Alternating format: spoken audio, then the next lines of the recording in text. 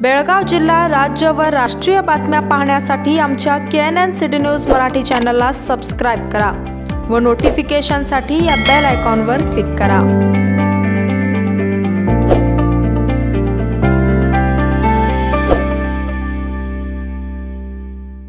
T जलाशयाजवळ असलेल्या शेतकऱ्यांच्या जमिनी पाण्याने तुडून भरल्या असून या जमिनींची पाहणी निडगुंदी तहसीलदार शिवलिंग प्रभुवाले यांनी केली आहे. पाचशे एकोणीस पूर्णांक साठ मीटर उंचीवर एकशे तेवीस पूर्णांक एक्क्याऐंशी टीएमसी पाणी संग्रह करण्याचे सामर्थ्य असणाऱ्या जलाशयामध्ये सोमवारी सायंकाळी पाचशे अठरा पूर्णांक सत्तावन्न मीटर उंचीवर एकशे सहा पूर्णांक बहात्तर टीएमसी पाण्याचा साठा झाला असून लालबहादूर शास्त्री जलाशयात एक लाख पन्नास हजार चारशे बहात्तर क्युसेक पाणी येत असून दोन पूर्णांक पन्नास लक्ष क्युसेक पाणी जलाशयातून सोडले जात आहे.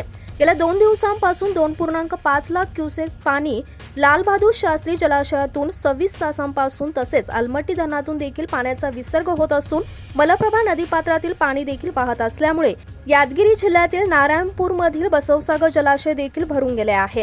त्यामुळे बागलकोट आणि विजापूर जिल्ह्यातील नदीकाठावरील ग्रामीण भागातील शेतजमीन पाण्याखाली गेल्या आहेत. त्यामुळे पिकांचे मोठे नुकसान झाल्यामुळे तहसीलदार यांनी शेतकऱ्यांना भेट देऊन त्या शेतजमिनीची पाहणी करून त्यांनी याबद्दल शेतकऱ्यांकडून माहिती घेतली आहे.